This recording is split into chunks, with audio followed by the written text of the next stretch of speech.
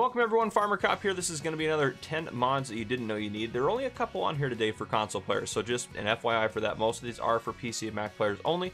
Um, as far as I know, this will probably be my last video of this specific type uh, coming out prior to FS22, but we'll see. So you guys have seemed to like these, so let's go ahead and just jump right into it. Number one for today is the Animal Screen Extended. This is by GTX. It's 15 kilobytes to download for PC and Mac players only. What this does is allows you to quickly move across animals. And what I mean by that, and you can do this with trailers or any animal screen. Anytime you have the animal screen, um, one thing it does first off is up here in the upper right hand corner, it gives you a total. You don't normally have that up here, so this says 100 out of 100 that we have. It gives you that. Now, normally you have to sit here and I would have to hit enter over and over and over and over and over again until I got these down. But now if we look, if I hold down, look down at the bottom, there it says pressing and now it's moving. It's doing them automatically. Down in the bottom right hand corner, it still says moving. It'll speed up here in a second. There you go. You see it's now speeding up and it's going much faster. I'm just holding down the enter key and boom, just like that, it's done. And I can confirm sell off all those chickens if I wanted to do that. So uh, there you go. The animal screen extended definitely adds a just a feature that should honestly be base game to be honest with you. But there you go. The animal screen extended. For number two, we have the Animal Goods Transport. This is by Mantrid, 5.68 megabytes to download. This one is for all platforms. In the store, this is a trailer located under animals. There's three different versions. There's one that hauls wool, milk, and eggs. Now, the eggs and wool one I think are by far the most useful. The milk one does work really well as well. But I'm going to test out the uh, wool one to kind of show you the uh, why it's so helpful. So instead of having to load up this pallet or this stack of wool individually here, each pallet one at a time, I can pull up just near them and it will start loading them up just like that. Very useful, very handy. And then, after I get all these guys loaded up, I have 14,000 liters you can see down there. This holds 28,000. What I can do is simply just drive up to a sell point and sell these guys off. It's very helpful, very useful, makes it a lot easier to transport your animal goods around. So I highly recommend this trailer. Right there. Hit I to unload, and it starts unloading and selling it off. You can see my money going up in the upper right-hand corner. But there you go, guys. That is the animal goods transport. For number three, we have the Fliegl Timber Runner Wide with auto, auto load wood. This is by Kenny456 and Marhu. This is 6.4 megabytes to download. Sadly, PC Mac players only. Now, there is kind of a version of an auto load wood trailer for uh, console players. It's the Wood Chipper trailer. Uh, make sure you go check that out. Essentially, kind of, Mr. CLP actually does a great video explaining how it works, so I'll let you guys go check that out. But anyhow, the Wood Chipper trailer does kind of work similar to this, and that one is for all platforms. Uh, but anyhow, this is found in the store under forestry equipment. There are three different versions of this trailer here. We have different lengths of them right here, so you can see depending on how long you want your trailer. Now, if we do go into here, you can add a trailer hitch on the back, so you can actually uh, chain multiples of these together, or add wide tires on there, which is super helpful. What this does, if you know how to use it, open up the help menu and read through all those controls down there to help you out a ton.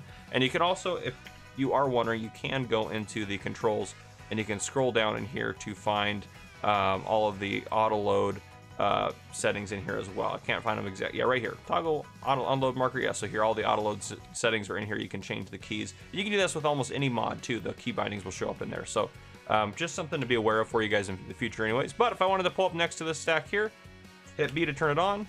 So I guess I didn't think those logs were real since I had spawned those in. So I'm to turn it on now. And if I pull up next to these guys, it should start, there you go, loading up logs. Now it will do that if you're moving. So I'd recommend stopping, turning it off, which is B, by the way. Turning it on, it'll load those guys up. B to turn it off again. Pull up to the next one. B again to load it up. Tension strap them down. I can turn B off again, back up to that one that got thrown off. Get into that loading zone.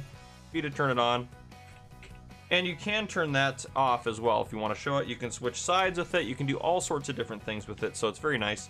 Now, if I do open up that help menu again, I can also unload these. So if I wanted to start unload, I hit Z and it will unload them into that spot right there. So there you go. And then you can see all my logs are nice and neat there. So you can take them over to a sell point, sell them, do them however you want, load them, move them around. All sorts of different things you can do with this trailer here. So very, very, very useful. So definitely recommend that. That's the Fliegl Timber Runner wide with auto load wood. All right, for number four, we have the Firewood mod. This is by Queens of Modding, 9.73 megabytes to download. This is for PC and Mac players only. Uh, what this does is adds in these guys right here, which are not reusable. So you need those. You also get um, some placeable sell points right here. Not very expensive to place. So you can put them wherever you want. Um, I have one right there now uh, where you can sell your firewood. Um, in addition to that, you also get added in under miscellaneous here in the store a hatchet and an axe. You can use either one. They both work. Um, I'm not sure if one will do bigger logs or not. I haven't tested any of that. But anyhow, if I cut down a tree like normal, bring my firewood pallet within range of this tree, and again, I can get access to this axe by simply scrolling on the mouse like you would for a chainsaw. Then if I have, you can see all these are chopped into smaller chunks here, so a little bit of smaller chunks here. I can use this to chop them, and it will go into the firewood pallet just like that. And I can use that to then sell firewood if I wanted to do that. Now, if you get one that's too big, it won't let you do it. It says log is too big. Now, you can cut the stumps as well if you're able to get them small enough. This one looks like, yep, there it goes. Be able to do it. I should be able to get that small piece there, theoretically. Maybe not, but anyhow. Um, you can cut them up like that. Now I'm going to use super strength to move it. You normally wouldn't be able to move it without super strength. If I go over to, and it actually won't let you sell it off unless you have it full. So that's my bad on that. I've never tried to sell a partial one, but there you go. So yeah, once it gets full, you go ahead and sell it off. You'll make a decent chunk of change on it. Uh, you'll probably make seven to 10,000 for one full pallet. So it doesn't take a lot to do it, obviously. So definitely recommend doing that. Firewood mod is a really easy way, especially if you have gnarly, weird shaped trees. It works really well. So highly recommend the firewood mod. All right, for number five, we have the Lumberjack mod. This is by Loki79.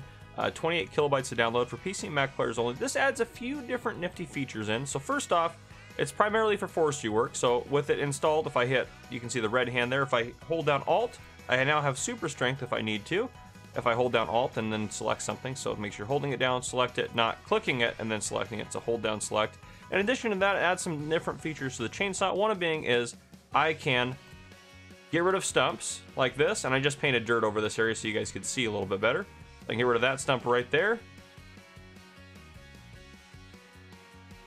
Just like that, and in addition to that, I actually can come up to trees with that red mark there, holding down Alt, and then chainsawing them, and I can just make trees disappear. So it has a few nifty features which are definitely very useful if you need to use them. So Lumberjack mod is very helpful. Um, especially if you're going to do any level of forestry, even if you're just tidying up your yard or doing a little bit of forestry on the side. So there you go. That is the Lumberjack mod. For number six, we have the all-in-one silo system. This is by Chris CJ Farming, 24.03 megabytes to download for all platforms. These silos will hold anything. They are multi-fruit, multi-liquid, and I know we've had that before. It's not like these are the new exciting thing, but in addition to that, they're not very expensive. Uh, $18,000 for 100,000 liter capacity, 27 for 300,000, 42 for 500,000, 85 for 800,000. You have a 500,000 liter tank there. If you wanted to go sideways, you have this tank 800,000. They hold everything. This one's all liquids, and these are all solids. So these are liquid ones. These are your solid ones. So they hold everything. Maize plus all sorts of stuff. Anything you want to put them. Then they have an extension at the end there. If you wanted to expand by 800,000 liters. So uh, very cool. They look nice. I like the way they look. Fantastic silos fantastic. So highly recommend these guys. They're very easy to get placed and everything like that. They don't take up a lot of space um, and they hold absolutely everything. So uh, very helpful. Just a great multi-fruit silo for you. All right, for number seven, we have the Map Objects Hider. This is by Royal Modding, 78 kilobytes to download. This is for PC and Mac players only.